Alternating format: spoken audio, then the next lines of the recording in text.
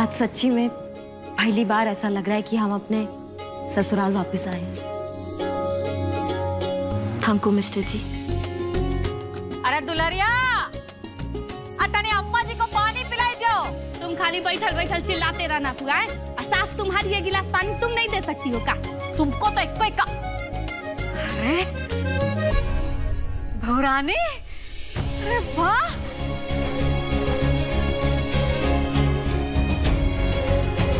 खुश रहो। भौरानी हमारा तो आँख ही पथरा गया था तुम्हारा राह देखते देखते हैं? अरे दिव्या जाओ आरती का थाल ले आओ जाओ। सासू मैया ससुर जी दिखाई नहीं दे रहे? वो तनी बाहर गए हैं ससुर जी अरे अनुराग कहा विशु बाबू हम कहे थे ना अनुराग भैया तुम्हारा ससुरारी गया है तो फौजी को लेकर ही लौटेगा देखे? एकदम ही सही कहे थे आप देवर जी। भाभी अब आप आ गए ना तो देखिएगा सृष्टि जी भी जल्दी से वापस घर आ जाएँगी।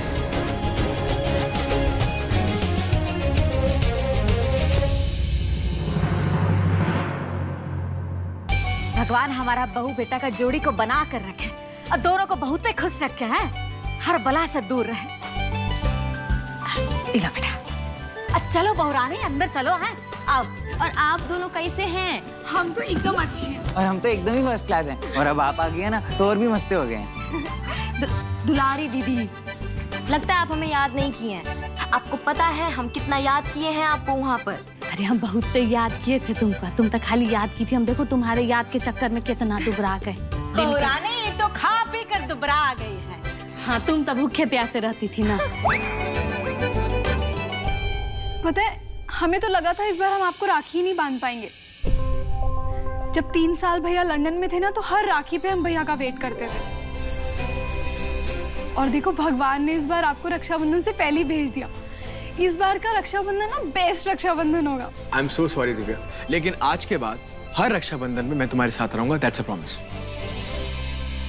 तुम लोग थक गए होगे हैं? हम खाना लगा देते हैं और फिर आराम कर हैं? चलो तनी काम कर लो हैं हमारे बिना तो कुछ होगा नहीं चलो।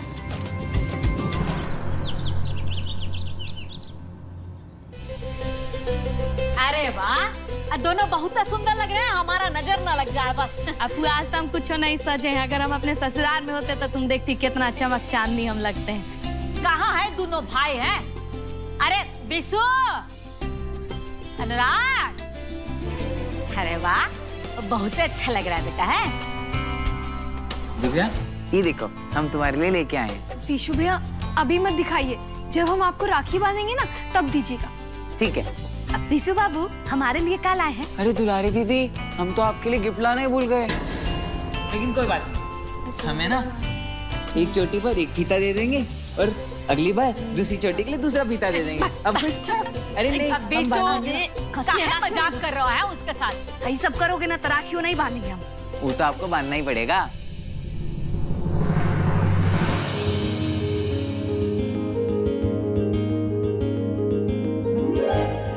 का जोड़ी ना राम और सीता जैसा लग रहा है एकदम है? ना किसी का नज़र ना लगे। बहुरानी बहुत ही सुंदर लग रही है बेटा। चलो आओ सब लोग पहले राखी बाँध लो। और दिव्या तुम सबसे पहले बड़े भाई को राखी बांधो हमारी भाभी ना दुनिया की सबसे अच्छी भाभी है। तुम्हारी अच्छी भाभी जी का सच्चा भी बताता ओ तो तुम एकदम सही कह रही हो दिव्या।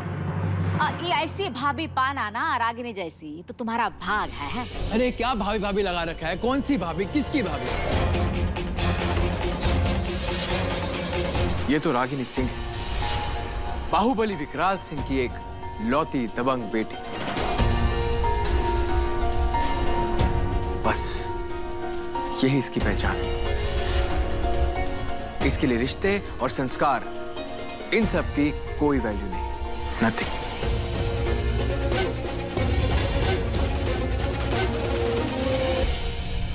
मिस्टर जी आप आप ऐसा काहे कह रहे हैं? का हम इस घर की बहू नहीं है का नहीं। तुम इस घर की बहू नहीं हो।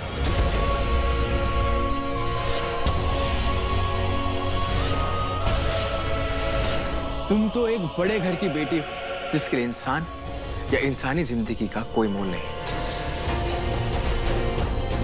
मिस्टर जी आप आप आपको कुछ गलत लग रहा है।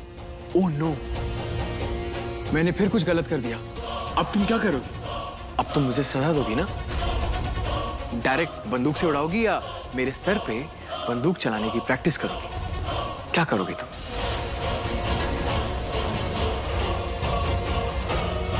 क्या करोगी तुम? अनुराग अनुराग रुको। अनुराग ये कहा मज़ाक है, बेचारी को त्योहार के दिन डरवा रहे हो। अरे, इतना ही गलती लग रहा था। भाग के मनाने काहे गए थे? डरा रहा हूँ? हाँ मज़ाक तो आप कर रही रागिनी जी किसी डरती नहीं बल्कि लोग उनसे डरते हैं। और वैसे भी, मैं उसे मनाने नहीं गया था। मैं उसे इस घर में वापस लाने गया था। ताकि उसको ये पता लग सके कि मेरे साथ उसने आखिर किया क्या है।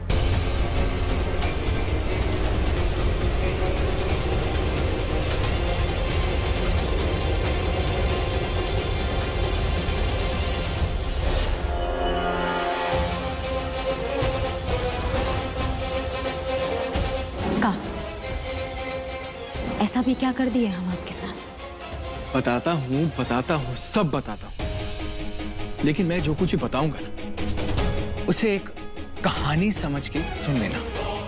क्योंकि कहीं उसमें तुम्हें मेरी तकलीफ़ ना दिख जाए।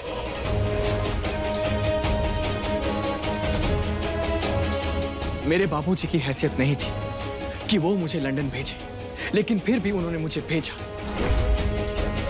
यही सोच के कि बेटा अगर फ़ौरन से पढ़कर वापस आएगा तो शायद इस घर के दिन बदलेंगे।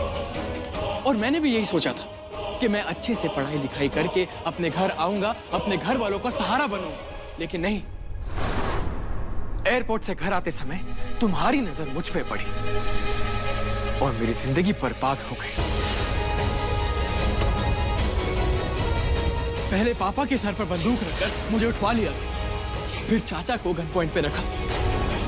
और मुझसे ज़बरदस्ती शादी करवाई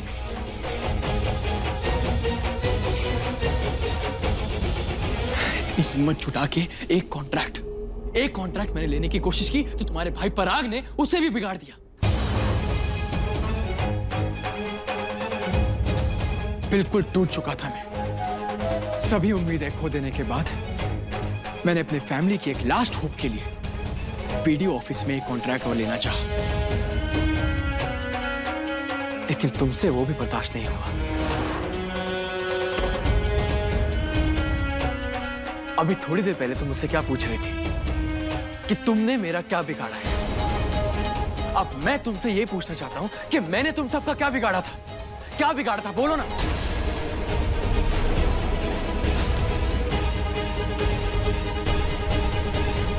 अनुराग, क्या बोल रहे हो तुम हाँ? अरे उसे पुराना बात था जो हो गया, सो हो गया। रागिनी तुम्हारे साथ ऐसा काहे करेगी? ये जवाब तो आपकी रागिनी बहू ही आपको दे सकती है, चाचा। पूछिए इससे। यही चाहती थी कि मैं यहाँ आप सबके साथ रहकर कुछ काम ना करूँ। बल्कि ये चाहती थी कि मैं यहाँ से वापस लंदन चला जाऊँ।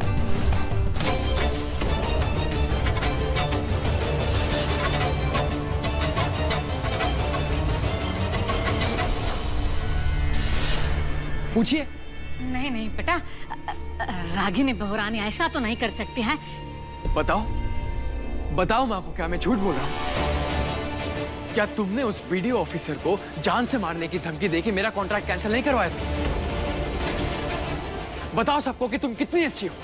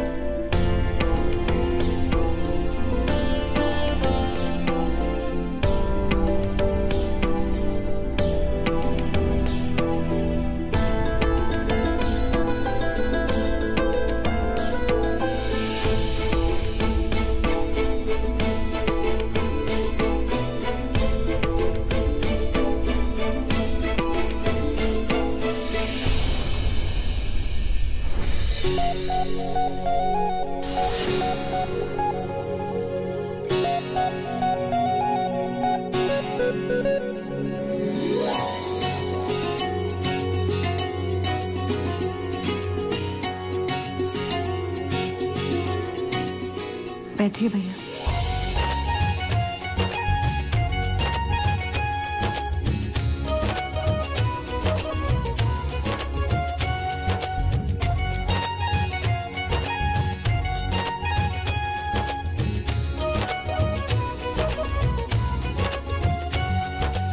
माँ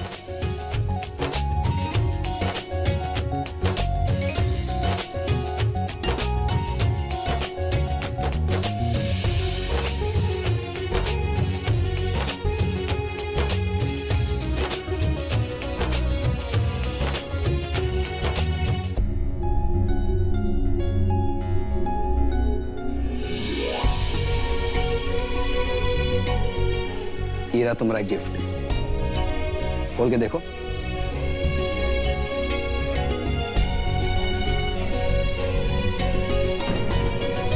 भैया हमें कोई गिफ्ट नहीं चाहिए। आप उसे अपने पास रखिए। लेकिन सृष्टि